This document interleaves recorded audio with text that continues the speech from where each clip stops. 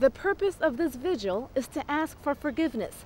It's part of a four day meeting titled Towards Healing and Renewal, where bishops and heads of religious orders are discussing ways to prevent cases of sexual abuse.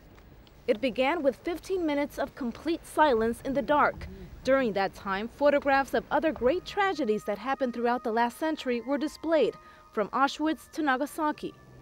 The vigil was led by Cardinal Marc Ouellet, who serves as the prefect of the Congregation for Bishops.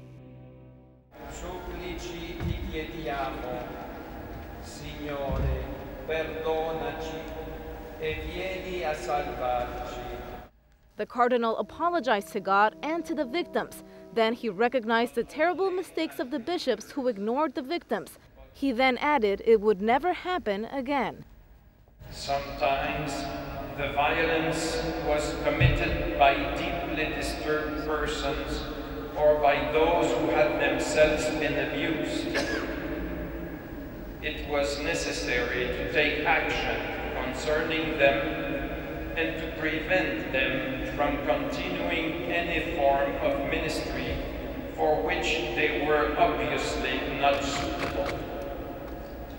This was not always done properly, once again, we apologize to the victims.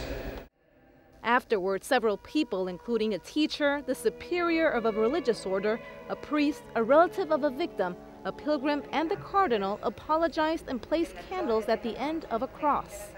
Minutes later, one of the victims joined in the prayer, asking God to forgive the abusers. She also asked God to help her forgive the priest who abused her and those who protected him.